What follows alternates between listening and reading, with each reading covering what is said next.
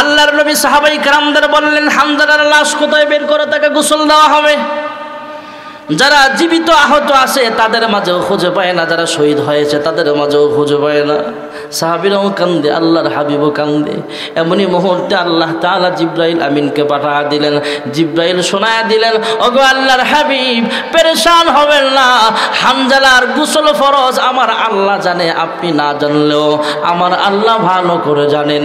হামজালার এই ঘটনা আমার আল্লাহর কাছে অনেক পছন্দের হয়ে গেছে। দুনিয়ার কোনো সাধারণ পানি দিয়া তার গোসল দেওয়া হোক, এটা আল্লাহ সহ্য করে নাই। আল্লাহ তালা তার লাশটা আসমানে উঠিয়ে নিয়ে গেছেন। আল্লাহর কোটি কোটি রহমতের ফিরিস্তারা আনন্দ চিত্তে জান্নাতি পানি দিয়ে হামজারার গোসল করাইতেছে যেরকম সুবহানাল্লাহ। একটু পরে তার দেহটা নিচে নামায় আনলো। কয়েকজন সাহাবি পরীক্ষা করার জন্য একটু সামনে গেলেন। সামনে যায় তাকায় দেখে এখনও হামজালার চুলের আগাগুলো বেয়ে বেয়ে টপ টপ করে জমিনে জান্নাতি পানির ফোঁটা পড়তেছে যেরকম সুবহানাল্লাহ। তাহলে শহীদদের মর্যাদা কোরআন হাদিসে আছে না নাই ولا تقولوا لمن يقتل في سبيل الله أموات بل أحياء ولكن لا تشعرون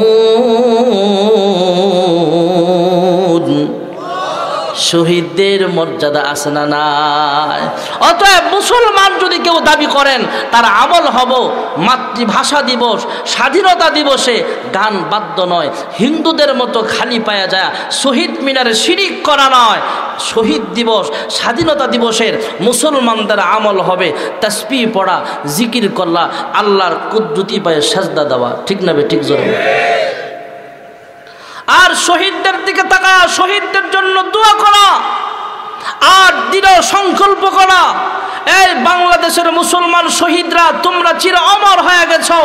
আবার যদি ডাক আসে, এই দেশের মানচিত্রের দিকে যদি কোনো কুলাঙ্কার, কোনো বেইমান কাফেররা চোখ রাঙ্গায় তাকায় এদেশের মানচিত্রে মুসলমানদের যদি মিটিয়ে দেওয়ার চেষ্টা করে, আবার যদি কোরআনের উপর আঘাত আসে, মসজিদ, মাদ্রাসার উপর আঘাত আসে, হে শহীদরা, তোমাদের স্বাধীনতা দিবসে তোমরা শহীদ হয়ে গেছো, এই স্বাধীনতা দিবসে আমাদের সংকল্প হলো, আবার যদি কখনো ডাক আসে, আমরা জান দিয়ে হলো ইসলামকে জিন্দা রাখব ইনশাআল্লাহ। ঠিক না বে? ঠিক জোরে বলে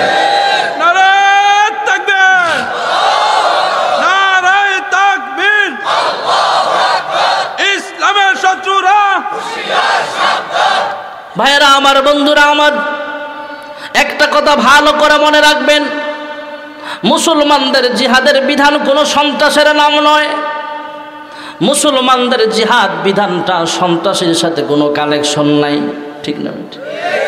মুসলমানদের জিহাদ, এটা সব সময় হয় না। মুসলমান জিহাদের তামান্না, শাহাদাতের তামান্না অন্তরে সর্বদা রাখতে হবে। পয়গাম্বরও সবসময় দোয়া করতেন, ওগো আল্লাহ, আমাকে শহীদি মৃত্যু দান করো যেরকম সুবাহান আল্লাহ শহীদি মরণ দুনিয়ার সবচেয়ে আরামদায়ক মরণ। যারা শহীদ, তাদের মর্যাদা কোরআন হাদিসা আছে। ও ভাই, কে আওয়ামী লীগ করেন, কেউ বিএনপি করেন, কে কোন পার্টি করেন শেখা সেটা আমার দেখার বিষয় নয়। দেখার বিষয় হলো, ইসলাম কি বলে? ইসলাম তো হলো, কোরআন তো হলো এমন, কোরআনে আমার ব্যক্তিগত জীবন কীভাবে চালাবো? সেই বিধান কোরআন সন্ন্যায় আসে না নেই? আমি কীভাবে টয়লেটে যাব? সেটাও তো আছে। আমি কীভাবে রাত্রিবেলায় স্ত্রীর সাথে ঘুমাবো? সেটাও তো কোরআন সন্না মোতাবেক আসে না নাই? মুসলমান রাস্তা দিয়া চলবে, সেখানেও সুন্নত তরিকা আছে। আর স্বাধীনতা আর শহীদ দিবসের আমল, এটাও কোরআন সন্ন্যায় আছে। ঠিক নবে ঠিক জোরে আল্লাহ আমাদের তৌফিক দান করো। এই স্বাধীনতা দিবসের নামে অশ্লীল কাজ, গুনাহের কাজ থেকে আমাদের দেশকে হেফাজত করো সকলে বলে আমি আজকে আমাদের দেশে স্বাধীনতা দিবস পালন হয়। একুশে ফেব্রুয়ারিতে ভাষা দিবস পালন হয়। ভাষা দিয়েছেন কে? স্বাধীনতা দিয়েছেন কে? স্বাধীনতার ইতিহাস, ভাষার ইতিহাস আজকের নতুন নয়। দেড় হাজার বৎসর আগে রহমত আলম রবি মক্কা বিজয় করেছিলেন। সাহাবাই কারামদের পয়গম্বর জিজ্ঞেস করলেন, ও সাহাবিরা, কি চাও তোমরা? কি চাওয়ার আছে বলো? বিজয় দিবস বিজয় উল্লাস উপলক্ষে তোমরা কি করবার চাও? সেদিন সাহাবাই কারাম বলেছিলেন, ওগো আল্লাহর হাবিব, যেই মক্কায় আমাদেরকে থাকতে দেওয়া হয় নাই, যেই মক্কায় বাসিন্দা অবস্থায় আমরা ইমান আনার কারণে কাফির বিমানরা আমাদের ঘর, বাড়ি ভাঙচুর করেছে, আমাদের উপরে জুলুম করেছে, অত্যাচার করেছে, এই কাবার প্রতি আপনারও ভালোবাসা, আমাদেরও ভালোবাসা, এই বিজয় দিবস উপলক্ষে আমরা চাই মসজিদে হারাম শরীফে আজান হবে শুক্রিয়াতান আমরা দুই রাকাত নামাজ পড়ব সুবহানাল্লাহ এই মুসলমান বিজয় দিবসের আমল হলো ফাসাব্বিহ বিস্মি রব্বিকা আমরা সুরায়ে নসর পাঠ করি ইদা যা আনাসুল্লাহি ওয়াল ফাতহ ورأيت الناس يدخلون في دين الله أفواجا فسبح بحمد ربك واستغفره ইন্নাহু কানা তাওয়াবা। কোরআনুল করিমে বিজয় দিবসের আমল আল্লাহ শিখাই দিছে। কোরআনুল কারিমে আলাদা স্বতন্ত্র একটা সুরা আছে, সুরাতুল ফাতিহ। বিজয়ের সুরা যেরকম সুবাহ কিন্তু আমাদের দেশের সংস্কৃতিটা একটু চেঞ্জ হয়ে গেছে। কাফের বেইমান হিন্দু, ইয়াহুদি, খ্রিস্টানদের চক্রান্তের জালে পড়ে এদের মতো করে আমরা বিজয়ের উল্লাস সাজাচ্ছি নাচ গানের মাধ্যমে। ঠিক না বেটি?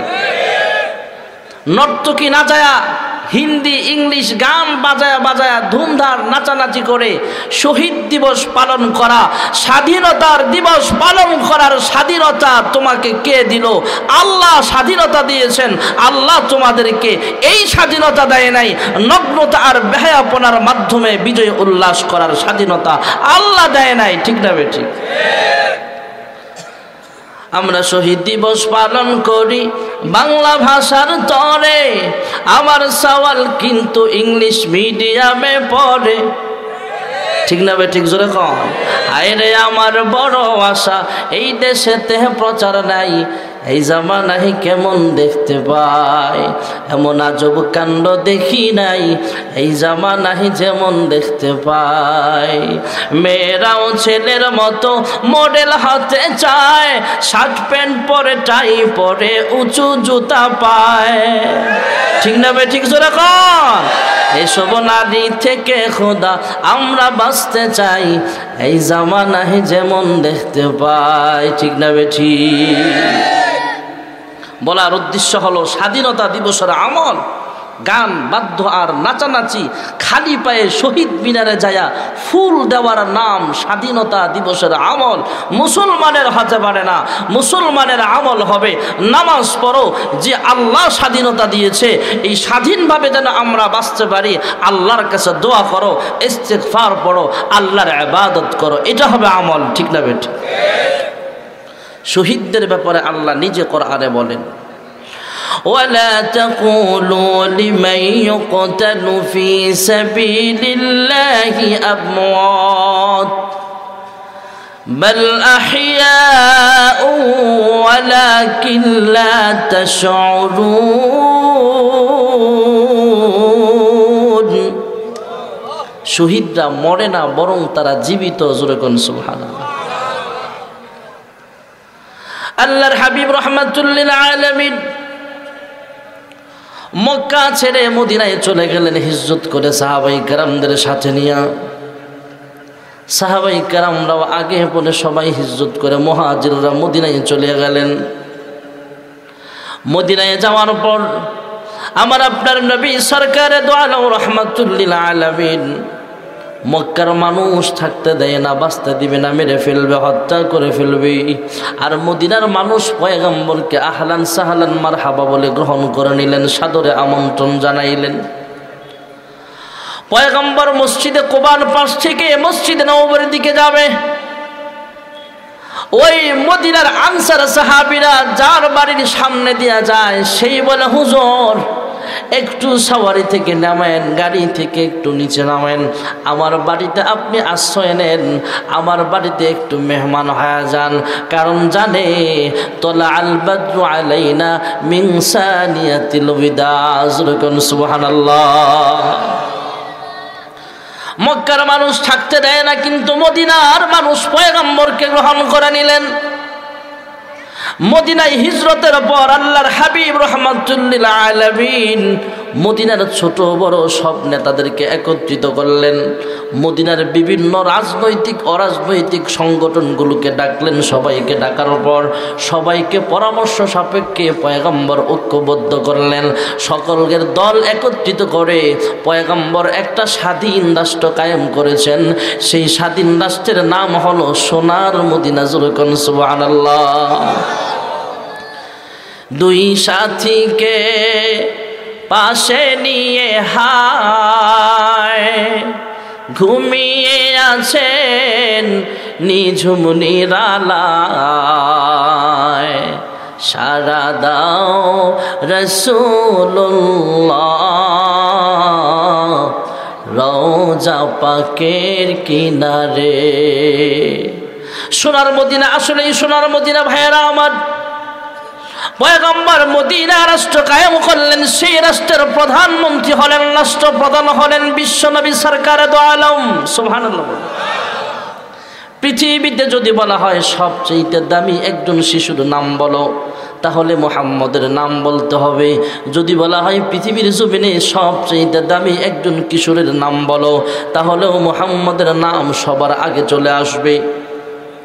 যদি বলা হয় পৃথিবীতে সুন্দর একজন যুবকের নাম বলো, তাহলেও মোহাম্মদের নাম সবার উপরে চলে আসবে। আর যদি বলা হয় পৃথিবীতে সবচাইতে শক্তিশালী মানুষের নাম বলো, তাহলে মোহাম্মদের নাম চলে আসবে। আর যদি বলা হয় পৃথিবীতে সবচাইতে দামি একজন বাবার নাম বলো, তাহলে বাবা হিসেবে পয়গম্বর সবচাইতে শ্রেষ্ঠ বাবা। যদি বলা হয় পৃথিবীতে সবচাইতে দামি পয়গম্বরের নাম বলো, তাহলেও মোহাম্মদের নাম চলে আসবে। আসবে। আর যদি বলা হয় পৃথিবীতে সবচাইতে বড় একজন সেনাপতির নাম বলো, তাহলেও মুহাম্মদের নাম চলে আসবে। কারণ আল্লাহর হাবিবের চাইতে যুদ্ধের কৌশল পৃথিবীর অন্য কোনো সেনাবাহিনীর নাই সুবাহান আল্লাহ বলেন।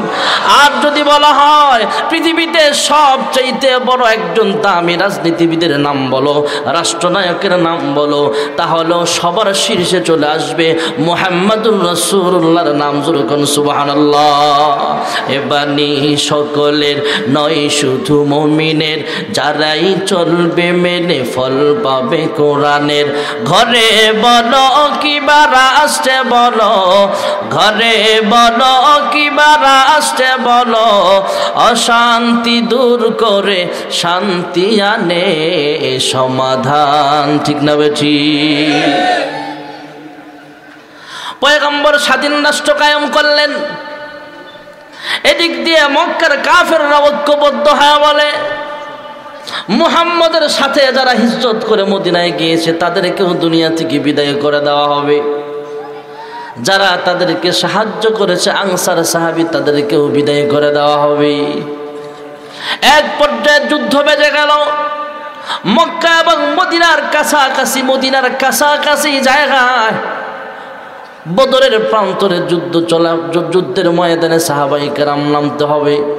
আল্লাহর হাবিব সাহাবাই কেরামদের মত নিলেন। ও সাহাবিরা, মক্কায় অনেক আক্রমণ সহ্য করেছ, অনেক জুলুম নির্যাতনের শিকার হয়েছ। আর বসে থাকার সময় নেই, প্রতিবাদের সময় এসেছে। আল্লাহর হুকুম চলে এসেছে তোমরা কে আসো ইসলামের জন্য? নিজের জান, মাল সব কুরবান করে দিতে রাজি আছো? আনসার সাহাবাই ক্রামদের থেকে একজন দাঁড়ায় বলে, ওগো আল্লাহর হাবিব, আনসার সাহাবাই ক্রামদের পক্ষ থেকে আমি জানাতে চাই, আমাদের শরীরে প্রাণ থাকা পর্যন্ত যতক্ষণ প্রাণ থাকবে, ততক্ষণ ইসলামের পথে আমরা জান্ডা উঠাবো। জোরেকন সুবহানাল্লাহ। মুহাজিরদের পক্ষ থেকে একজন সাহাবি দাঁড়ায় গেলেন, ওগো আল্লাহর হাবিব মুহাজিরদের পক্ষ থেকে বলতে চাই, শুধু আনসাররা নয়, আমরা মুহাজিররাও আপনার ডাইনে, বামে, সামনে, পিছনে, চতুর্দিকে কররা নিরাপত্তা দেব। আমাদের দেহে বিন্দু পরিমাণ রক্ত থাকতেও আপনার শরীরে একটু আঘাত আনতে দেওয়া হবে না জুরকন সুবহানাল্লাহ।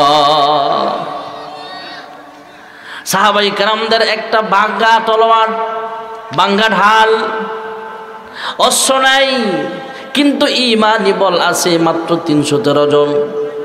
আর কাফেররা মক্কা থেকে আসছে সশস্ত্র বাহিনী, অস্ত্র শস্ত্র সজ্জিত। বদরের প্রান্তরে তিনশো তেরো জন সাহাবি নেমে গেলেন।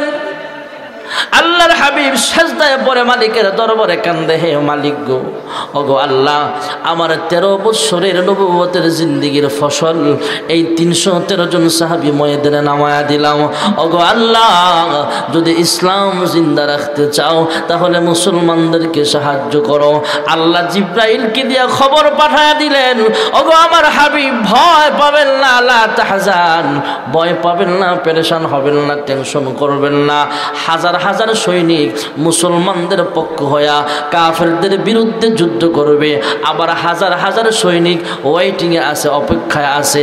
যদি প্রয়োজন হয় এরাও মাঠে নামবে। কাফেরদের বিরুদ্ধে মুসলমানদের পক্ষে তলোয়ারি চালাবে। যেরকম সুবাহান মুসলমান তো সেই জাতি। মুসলমান আর ইসলাম, কোরআন সুন্না হলো এমন। যদি কেউ মনে করে, আমি মাথা ঠুকায়া পাথর টুকরা টুকরা করে ফেলব এটা তার ভুল ধারণা। কেউ যদি পাহাড় ভাঙতে চায় মাথা দিয়া, তাহলে মাথা রক্তাক্ত হবে, চূর্ণ বিচূর্ণ হবে, পাহাড়ের কিচ্ছু হবে না। কেউ যদি ইসলামকে শেষ করে দিতে চায়, ইসলামের কিছু হবে না, তার মান, সম্মান, ইজ্জত সব শেষ হবে। ইসলাম ছিল, ইসলাম আছে, ইসলামই থাকবে। ঠিক না বে ঠিক জোরে বলে আল্লাহর হাবিব রহমাতুল্লিল আলমিন সাজদায় পরে কান্দে হ্যাঁ মালিক, এই তিনশত তেরো জন সাহাবি আমার তেরো বৎসরের নবুয়তের জিন্দিগির ফসল। সেই তিনশো তেরো জন সাহাবি যুদ্ধ করতেছে যুদ্ধ করতেছে। ওই যুদ্ধে দুইজন বাচ্চা, শিশু বাচ্চা অংশগ্রহণ করার জন্য, সেনাবাহিনীর পদে নিয়োগ দেওয়ার জন্য সামনে আসছে। রহমাতুল্লিল আলমিন হলেন কমান্ডার। তিনি বলেন শিশু বাচ্চা, তোমরা কিশোর মানুষ, ছোট মানুষ, তোমাদের দ্বারা যুদ্ধ হবে না। এক বাই দুনো পায়ের আঙ্গুরের উপরে ভর দিয়ে সোজা হয়ে দাঁড়ায় বলে, ওগো আল্লাহর হাবিব, আমাকে দেখেন, সেনাবাহিনী যতটুকু লম্বা হতে হয়, আমিও লম্বা হয়ে গেছি। রশিদা মাপ দিয়া দেখে, পয়গাম্বর নজর দিয়া তাকায় দেখে উকি মেরে আসে। তারপরও তার কথা শুই না বলে, যাও, তুমি মাপে পড়ে গেছো, কিন্তু তোমার ছোট ভাই সেনাবাহিনীর মাপে পড়ে নাই। ছোট ভাই ডাক দিয়া বলে, ওগো আল্লাহর হাবিব, আমরা দুই ভাই, মার সাথে ওয়াদা করে এসেছি, আমরা জিহাদে যাব। সুবহান আল্লাহ মার কাছ থেকে বিদায় নিয়ে আসছি। আমার বড় ভাই তো মাপে পড়ে গেছে। আপনি জানেন না, হুজুর? ওগো আল্লাহর হাবিব, বড় ভাই আমার চেয়ে লম্বা হলে কি হবে? এত আমার চেয়ে হাবলা। দুনো ভাইরে কুস্তি লাগায় দেখেন আমার সাথে পারবে না। বড় ভাইরা কানা কানা করে বাইরে তুই তো মাপে ফসস, তোর তোর বাদ দিত না। তুই একটু একটু কুস্তাকুস্তি করে বড় ভাইরে সহায় দিছে।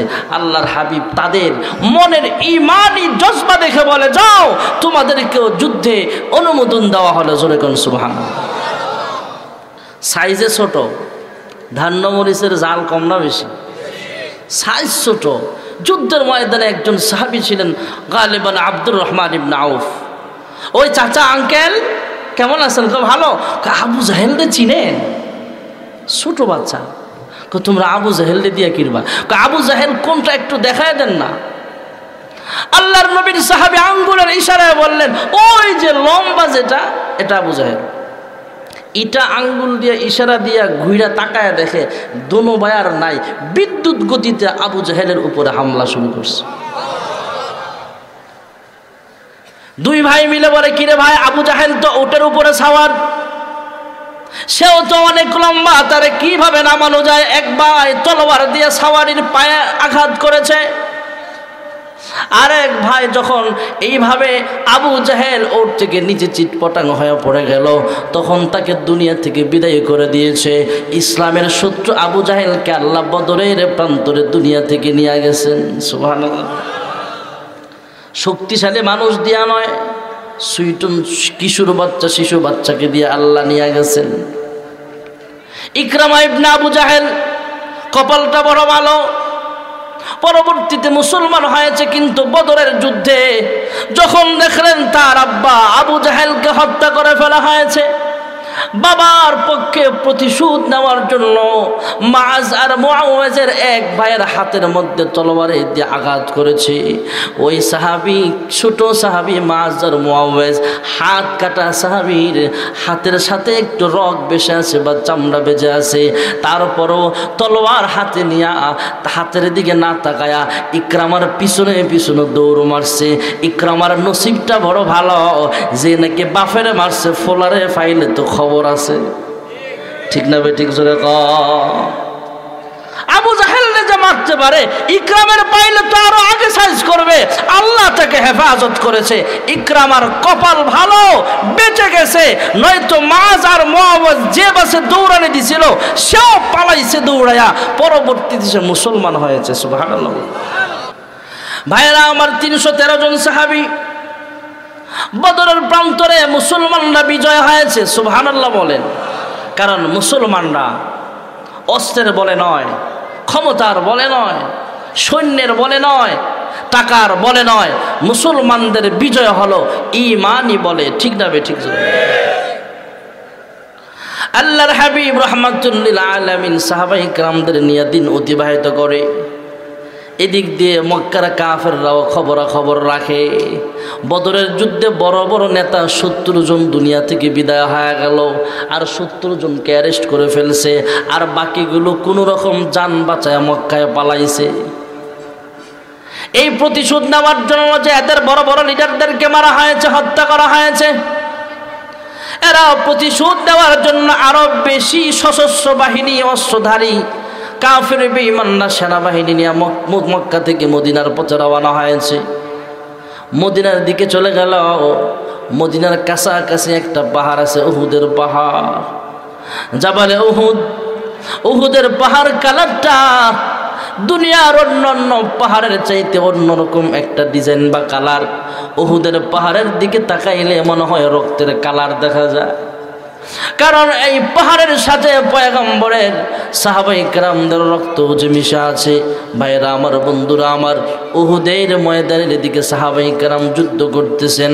কাফেররা আসছে মদিনা নামক এসটাকে উড়ায় ফেলবে। এদিক দিয়ে মক্কার কাফেররা যখন মদিনার দিকে গেলেন, উহুদের প্রান্তরের দিকে যুদ্ধ গঠিত হবে। ভাইরা আমার, মুসলমানরাও সবাই মিলে ঐক্যবদ্ধ হয়ে পাহাড়ের দিকে দৌড়ায়।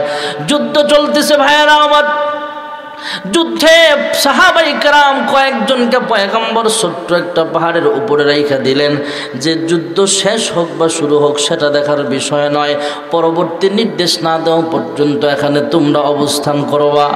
প্রথম পর্যায়ে মুসলমানরা বিজয় লাভ করে ফেলেছিল। গরিমতের মাল এবার জন্য সেখান থেকে কিছু সাহাবি চলে আসলেন। মনে করেছে যুদ্ধ শেষ, কিন্তু বেঁচে গেছে যে কাফেররা। এরা ঘুরে এসে আর ছোট পাহাড়ের পিছন থেকে মুসলমানদের উপরে তাৎক্ষণিকভাবে সমস্যা সমস্যা সৃষ্টি করে দিল। তাৎক্ষণিকভাবে আক্রমণ শুরু করল। সেই আক্রমণে মুসলমানরা আক্রান্ত হয়ে গেল। সাহাবাইকারা অনেকেই আক্রান্ত হলেন, রক্তাক্ত হলেন। কাফেররা একসাথে যখন মুসলমানদেরকে মার দিতেছে, ওই মায়ের খাইতে খাইতে মুসলমানদের এক পর্যায়ে কাফেররা ছোট ছোট গর্ত বানাইছে মুসলমানদের বিরুদ্ধে। পয়গম্বর একটা পাথরের গর্তের মধ্যে পড়ে গেলেন পয়গম্বর বললেন ওহু যেমন একটা পাহাড়। আমি যখন গর্তের ভিতরে ঢুকেছিলাম, একটা পাথর এসে আমাকে ঢাইকা রাখছে। সুবাহ পয়গম্বর বলেন উহুদ এমন একটা পাহাড়, যেই পাহাড় আমি পয়গম্বর ভালোবাসি, উহুদের পাহাড়ও আমি পয়গম্বরকে ভালোবাসি। যেরকম সুবাহান পয়গম্বরের খোঁজ পাওয়া যাচ্ছে না। পয়গম্বর একটা গর্তের ভিতরে আড়ালে লুকিয়ে আছেন। লোহার হেলমেট ভেঙে, লোহার আংটা পয়গম্বরের মাথায় ঢুকে গেছে। আল্লাহর নবীর একজন সাহাবী বলে, আল্লাহর কসম, ওগো আল্লাহর হাবিব, আমাকে একটু সুযোগ দেন, চান্স দেন, আপনার এই লোহাটা আমি খুলে ফেলি। সাহাবি চিন্তা করলেন, কি দিয়া খুলবো? এক পর্যায়ে পয়গম্বর যেন আঘাত না পায়, নিজের দাঁত দিয়া ওই লোহাটা ছুটাইতে গেলেন লোহা ছুটছে, ঠিক আছে, কিন্তু ওই সাহাবির কয়েকটা দাঁত ভেঙে গেছে। মুসলমান তো হলে এমন। দাঁত গেছে যাক, হাত গেছে যাক মাআজ আর মুআওয়াজ দুই ভাইয়ের এক ভাইয়ের হাত ইকরামা ইবনে আবু জাহেল কেটে ফেলেছে, কিন্তু একটা চামড়া একটু বেঁচে আছে। আল্লাহর নবীর সাহাবী পায়ের নিচে হাতটাকে এইভাবে ধরে, হাতটাকে দেহ থেকে আলাদা করে বলে, ওরে হাত, তোমার চাইতে আল্লাহর কোরআনের দাম আমার কাছে অনেক বেশি দামি। আমার হাত চলে যাক। যুদ্ধের ময়দানে আল্লাহর নবীর একজন সাহাবী সেনাপতি বানায়া আল্লাহর হাবিব পাঠাইলেন। ওই সাহাবীর দুইটা হাত কেটে ফেলেছে সাহাবী পা দিয়া ধরে রাখছে ইসলামের ঝান্ডাটা। এক পর্যায়ে পা দুইটা কেটে ফেলা হয়েছে। ওই সাহাবী দাঁত দিয়ে কামড় মেরে ধরে রাখছে। ভাইয়েরা আমার, বন্ধুরা আমার, দেহ থেকে গর্দান আলাদা করা হয়েছে। তারপরও তার দাঁত থেকে ইসলামের ঝান্ডা ছাড়ে না। পরবর্তী সেনাপতি কানে যায়, কানে কানে যায় বলতেছে, ওরে ভাই, ইসলামের ঝান্ডা ছাড়ো। তুমি তো শহীদ হয়ে আল্লাহর জান্নাতে চলে গেছো। আমি আল্লাহর নবীর সাহাবী, অন্য কোন ইসলামের দুশ্মন ঝান্ডা চুরি করতে আসে নাই সাথে সাথে এই কথা বলার পরে দাঁত ফাঁক হয়েছে ঝান্ডাও ছুটে চলে এসেছে সোহানুল্লাহ ইসলাম হলো এমন মুসলমান হলো এমন মুসলমান ধন সম্পদ সন্তান সন্ততি নিজের জানের চাইতেও আল্লাহকে বেশি ভালোবাসে সুহান আল্লাহ قل إن صلاتي ونسكي ومحياي ومماتي لله رب العالمين মোহাব্বত জোরে মুসলমানের আওয়াজে আল্লাহ আকবার এদেশে আল্লাহ আকবরের সুরে সূর্য ওঠে, এদেশে আল্লাহ আকবরের সুরে সূর্য ডুবে, এদেশের মাল্লামাজি কৃষক শ্রমিক সবার ঠোঁটে সোনর ইলাহা ইল্লাল্লাহর জিকির উঠে, ঠিক না ভাই ঠিক? ইমানের তপ্ত আগুন জ্বলছে সবার বুকে বুকে, সে আগুন দেশ হতে দেশ দেশান্তরও জ্বলতে হবে, এদেশে আল্লাহ আকবরের সুরে সূর্য ওঠে, এদেশে আল্লাহ আকবরের সুরে সূর্য ডুবে, জোরে আল্লাহ আকবর। সাহাবাই কেরাম যুদ্ধ করতেছেন। এদিক দিয়ে কাফেররা মুসলমানদের উপর অতর্কিত হামলা চালিয়েছে। পয়গাম্বরকে দেখা যায় না, কাফেররা একটা বদনাম রটায়া দিল, কত কুতিলা মোহাম্মদ। ওমরের মতো রূপ, তলোয়ার ফালায় দিয়া বলে, যা মারার আমারে মার। নবী নাই যুদ্ধ কার জন্য করব? মারার থাকলে আমার মার। অনেকক্ষণ যুদ্ধ চলতেছে। পয়গাম্বর পাথরের আঘা পাথরের গুহার ভিতরে আছে, গর্তের মধ্যে আছে। একজন সাহাবি কানাকারে বললেন, ওগো আল্লাহর হাবিব, সাহাবাই কারাম মনোবল হারায় ফেলছে। একটু আপনি একটু মাথাটা উঠান। সাহাবাই কারামদেরকে আবার যুদ্ধের ময়দানে সচল হওয়ার জন্য আহ্বান করে। পয়গম্বর অসুস্থ শরীর নিয়ে সাহাবাই ক্রামদের কাদের উপরে হাত দিয়ে দুর্বল শরীর তার উপরও একটু আওয়াজ দিয়ে বললেন, ও সাহাবিরা, মনোবল হারায়ও না, যুদ্ধ বন্ধ করিও না, আমি পয়গাম্বর এখনও তোমাদের মাঝে জীবিত আছি জুরকন সুবাহ আল্লাহর নবী রহমাতুল্লিল আলমিন কথাটা বলেছেন, সাধারণভাবে আমরা কাছাকাছি হলে কথাটা শুনতাম, কিন্তু যুদ্ধের ময়দানে সাহাবাই কারাম যে যে অবস্থায় ছিল, দাঁড়ায় থাক আর বসে থাক আর শুয়ে থাক, মার দিক আর মার খাক যেইভাবে থাকুক না কেন, ওই আওয়াজটা প্রত্যেকটা সাহাবির কানে আল্লাহ তালা পৌঁছায় দিলেন, পৌঁছা মাত্র সাহাবাই কারাম আবার দাঁড়ায় গেলেন স্ট্রং হয়ে গেলেন। যুদ্ধ আবার শুরু করা দিয়েছে। আল্লাহ রাব্বুল আলামিন আলামিন উহুদের ময়দানে মুসলমানদেরকে আবার বিজয় দান করেছে জুরকন সুবহানাল্লাহ। যুদ্ধ চলা অবস্থায় কত কুতিলা মোহাম্মদ আওয়াজ উঠে গেছে। এদিক দিয়ে মদিনার অলি গলি পর্যন্ত আওয়াজ পৌঁছিয়া গেছে কত কুতিলা মোহাম্মদ। মদিনার একজন আনসার মহিলা উহুদের প্রান্তরের দিকে দৌড় মারছে। কাফেররা সামনে ব্যারিকেড দিয়ে বলে, কোথায় যাও? কই উহুদের ময়দানে যাই। যে লাভ নাই, তোমার স্বামী উহুদের প্রান্তরে শাহাদাত বরণ করে ফেলেছে। মহিলা কোনো কথা বলে না, কোনো জবাব দেয় না, শুধু সামনের দিকে পাগলের মতো দৌড়ায়। আবার আর একজন ডাক দেওয়া বলে, মহিলা, কোথায় যাও? উহুদের ময়দানে যাই। যে লাভ নাই গো, তোমার সন্তান উহুদের প্রান্তরে শহীদ হয়ে গেছে। শুনিয়া সেই সংবাদ, এক মুসলিম মহিলা পাগল হয়ে ছুটেছে। কাফেরেরা বলছে, তোমার প্রতি পুত্র সবাই মারা গেছে। মহিলা বলছে চাই না তা শুনতে, মহিলা বলছে, চাই না তা শুনতে, বলো কেমন আছে আমার দয়াল নবী? আমরা যে আদরের উম্মত, উম্মতের করলাম কি? মহিলা শুধু সামনের দিকে দৌড়ায়, কাফেররা বলে, কোথায় যাও? কয়, উহুদে যাই। লাভ নাই, তোমার মেয়ের জামাই শহীদ হয়ে গেছে। মহিলা এবার ডাক দিয়ে বলে, আমার সন্তান শহীদ হয়েছে, এই কথাও শুনলাম। স্বামী শহীদ হয়েছে, এই কথাও শুনলাম। আমার মেয়ের জামাতা শহীদ হয়েছে, এটাও শুনলাম। কাহারো শাহাদাতের সংবাদ শোনার জন্য আমি আসি নাই। আমাকে খবর দাও, আল্লাহর হাবিব দু জাহানের সর্দার এখন ওহুদের ময়দানে জিন্দা আছে কিনা? আরও জোরে কয় না। মহিলা ডাক দেওয়া বলে, আমার স্বামী শাহাদাতের সংবাদ আমি শোনার জন্য আসি নাই। আবার সন্তানের সংবাদ শোনার জন্য আসি নাই। রহমতুল্লিল আলমিন যদি জিন্দা থাকে, পয়গম্বরের চেহারার দিকে তাকাইলে আমার সন্তান হারার যন্ত্রণা, স্বামী হারার বেদনা, দুঃখ, কষ্ট মুহূর্তের মধ্যে আমি ভুলে যেতে পারব। যুদ্ধ শেষ হওয়ার পর সাহাবাই কেরামদের লাশ একত্রিত করা হচ্ছে। যারা শহীদ, তাদেরকে আলাদা করা হচ্ছে। যারা নিহত হয়েছে, গাজী, তাদেরকে আলাদা করা হচ্ছে। চিকিৎসা করতে হবে। এমনি যুদ্ধের ময়দানে একজন মহিলা আসতেছে। পয়গম্বর সাহাবাই কারামদের দিয়ে খবর দিলেন, কি ব্যাপার মহিলা জিহাদের ময়দানে কেন? মহিলা জানাইলেন, ওগো আল্লাহর হাবিব, আমার স্বামীর ব্যাপারে হয়তো আপনি জানবেন না। কারণ শহীদদের মর্যাদা হলো এমন, শহীদরা যখন মারা যাবে তাদেরকে বিনা গোসলে দাফন করা হবে। রক্তাক্ত জামা নিয়া, হাত কাটা, পা কাটা, এইভাবে আল্লাহর সামনে দাঁড়াবে। এখলাসের সাথে যদি শহীদ হতে পারো রে বান্দা বান্দিরা আল্লাহ তাআলা জিজ্ঞেস করবে, কি জন্য যুদ্ধ করেছিলা? তখন বলবে, আল্লাহ দিন কায়েমের জন্য যুদ্ধ করেছিলাম।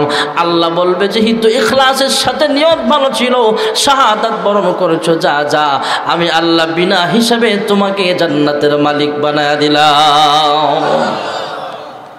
তাহলে ইসলামে শহীদদের মর্যাদা আছে না নাই? গান বাজাইলে শহীদদের মর্যাদা হবে? নাচানাচি করলে শহীদ মিনারে ফুল দিলে, এটা কি শহীদদের মর্যাদা হবে? আরে যারা শহীদ কবরে আছে, এরা তো কবর থেকে বলে হ্যাঁ কপাল পোড়া বাঙালি জাতি, তোমরা শহীদ মিনারে ফুল দাও, নাচানাচি করে স্বাধীনতা দিবস পালন করে, আমাদের কবরে সব পৌঁছাও নাই, বরং গুনাহের কাজ করেছ। আল্লাহ যদি আবার আমাদেরকে জিন্দা করত, দেশের জন্য আর যুদ্ধ করতাম না। যারা গান বাদ্য আর নাচানাচি করো, তোদের বিরুদ্ধে সংগ্রাম করতাম। ঠিক না ঠিক শহীদ দিবস, স্বাধীনতা দিবসের কি আমল কোরআন হাদিসে আছে না নাই? আল্লাহর হাবিব রহমাতুল্লিল আলমিনের কাছে মহিলা সংবাদ পাঠালেন অগো আল্লাহর হাবিব, আমার স্বামী হামজালা যদি গোসল ফরজ তার উপরে ছিল, জিহাদের ময়দানে যদি শহীদ হয়ে থাকে, তাকে বিনা গোসলে দাফন করবেন না। কারণ আমি জানি আর আমার মালিক আল্লাহ জানে। সে গোসল করার জন্য রেডি হচ্ছিল এমনি কে যেন আওয়াজ উঠায় দিছে, কত কুচিল মোহাম্মদ। আবার কে যেন স্লোগান আওয়াজ উঠায় দিছে, হাইয়া আদাল জিহাদ। আল্লাহর হাবিব, আমার স্বামী গোসল না করে জিহাদের ময়দানে রওনা দিয়েছেন। আমি বললাম হ্যাঁ স্বামী আমার, কয়েক মিনিট সময় লাগবে, একটু গোসল করে তারপরে যান। স্বামী বলে, বিবিরে বিদায় দে, দেখা হবে হাসরের ময়দানে, হয়তো তোমার সাথে সুবহানাল্লাহ বলে। তলোয়ার নিয়ে যুদ্ধের ময়দানে চলে এসেছে। যদি শহীদ হয়ে থাকে, তাকে বিনা গোসলে দাফন করবেন না, গোসল দিয়েই দাফন করবেন। কারণ শহীদদের মর্যাদা হলো এমন, তাদেরকে শুধু জানাজা দিয়ে দাফন করা হবে, বিনা গোসলে দাফন করা হবে। কারণ কাহারো কাহারো শাহাদাতের সাক্ষী বালাকোটের ময়দান দিবে। কাহারো কাহারো শাহাদাতের সাক্ষী উহুদের প্রান্তরের পাহাড় দিবে। কাহারো কাহারো শাহাদাতের সাক্ষী বদরের মাঠ দিবে। আর কাহারো কাহারো শাহাদাতের সাক্ষী সাপলা চত্বর স্বয়ং দিবে। আর হজরত ওসমান ইবনে আউফ সাক্ষী আল্লাহর কোরআন দিবে যুরকন সুবহানাল্লাহ। আল্লাহর নবী সাহাবাই کرامদের বললেন হামজারার লাশ কোথায় বের করে তাকে গোসল দেওয়া হবে? যারা জীবিত আহত আছে তাদের মাঝেও খুঁজে পায় না, যারা শহীদ হয়েছে তাদের মাঝেও খুঁজে পায় না। সাহাবিরাও কান্দে, আল্লাহর হাবিবও কান্দে। এমনই মুহূর্তে আল্লাহ তালা জিব্রাইল আমিনকে পাঠা দিলেন। জিব্রাইল শোনায় দিলেন, ওগো আল্লাহর হাবিব, পেরেশান হবেন না। হামজালার গুসল ফরজ, আমার আল্লাহ জানে, আপনি না জানলেও আমার আল্লাহ ভালো করে জানেন। হামজালার এই ঘটনা আমার আল্লাহর কাছে অনেক পছন্দের হয়ে গেছে। দুনিয়ার কোনো সাধারণ পানি দিয়া তার গোসল দেওয়া হোক, এটা আল্লাহ সহ্য করে নাই। আল্লাহ তাআলা তার লাশটা আসমানে উঠিয়ে নিয়ে গেছেন। আল্লাহর কোটি কোটি রহমতের ফিরিস্তারা আনন্দ চিত্তে জান্নাতি পানি দিয়া হামজারার গোসল করাইতেছে যেরকম সুবহানাল্লাহ। একটু পরে তার দেহটা নিচে নামায় আনলো। কয়েকজন সাহাবি পরীক্ষা করার জন্য একটু সামনে গেলেন। সামনে যায় তাকায় দেখে এখনও হামজালার চুলের আগাগুলো বেয়ে বেয়ে টপ টপ করে জমিনে জান্নাতি পানির ফোঁটা পড়তেছে, জুরকন সুবহানাল্লাহ। তাহলে শহীদদের মর্যাদা কোরআন হাদিসে আছে না নাই ولا تقولوا لمن يقتل في سبيل الله أموات بل أحياء ولكن لا تشعرون শহীদদের মর্যাদা আছে না নাই? অতএব মুসলমান যদি কেউ দাবি করেন, তার আমল হব মাতৃভাষা দিবস, স্বাধীনতা দিবসে গান বাদ্য নয়, হিন্দুদের মতো খালি পায়া যায়, শহীদ মিনারে শিরিক করা নয়। শহীদ দিবস, স্বাধীনতা দিবসের মুসলমানদের আমল হবে তসপি পড়া, জিকির করলা, আল্লাহর কুদ্দুতি পায়ে সাজদা দেওয়া। ঠিক না ঠিক জোরে আর শহীদদের দিকে তাকা শহীদদের জন্য দোয়া করা আর দৃঢ় সংকল্প করা এই বাংলাদেশের মুসলমান শহীদরা, তোমরা চির অমর হয়ে গেছ।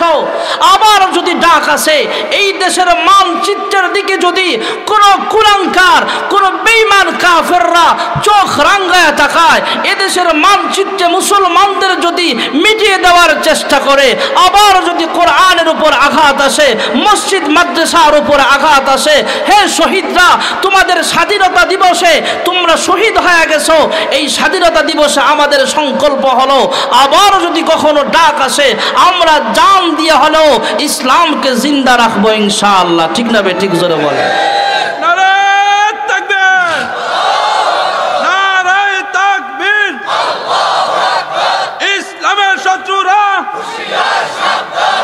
ভাইয়েরা আমার বন্ধুরা আমার একটা কথা ভালো করে মনে রাখবেন। মুসলমানদের জিহাদের বিধান কোনো সন্ত্রাসের নাম নয়। মুসলমানদের জিহাদ বিধানটা সন্ত্রাসের সাথে কোনো কানেকশন নাই, ঠিক না? মুসলমানদের জিহাদ এটা সব সময় হয় না। মুসলমান জিহাদের তামান্না, শাহাদাতের তামান্না অন্তরে সর্বদা রাখতে হবে। পয়গাম্বরও সবসময় দোয়া করতেন, ওগো আল্লাহ, আমাকে শহীদি মৃত্যু দান করো যেরকম সুবাহান আল্লাহ শহীদি মরণ, দুনিয়ার সবচেয়ে আরামদায়ক মরণ। যারা শহীদ, তাদের মর্যাদা কোরআন হাদিসা আছে। ও ভাই, কে আওয়ামী লীগ করেন কেউ বিএনপি করেন, কে কোন পার্টি করেন শেখা সেটা আমার দেখার বিষয় নয়। দেখার বিষয় হলো, ইসলাম কি বলে? ইসলাম তো হলো, কোরআন তো হলো এমন, কোরআনে আমার ব্যক্তিগত জীবন কীভাবে চালাবো? সেই বিধান কোরআন সন্ন্যায় আসে না নেই? আমি কীভাবে টয়লেটে যাব? সেটাও তো আছে। আমি কীভাবে রাত্রিবেলায় স্ত্রীর সাথে ঘুমাবো? সেটাও তো কোরআন সন্না মোতাবেক আসে না নাই? মুসলমান রাস্তা দিয়ে চলবে, সেখানেও সুন্নত তরিকা আছে। আর স্বাধীনতা আর শহীদ দিবসের আমল, এটাও কোরআন সন্ন্যায় আছে। ঠিক নবে ঠিক জোরে আল্লাহ আমাদের তৌফিক দান করো। এই স্বাধীনতা দিবসের নামে অশ্লীল কাজ, গুনাহের কাজ থেকে আমাদের দেশকে হেফাজত করো সকলে বলে, আমিন।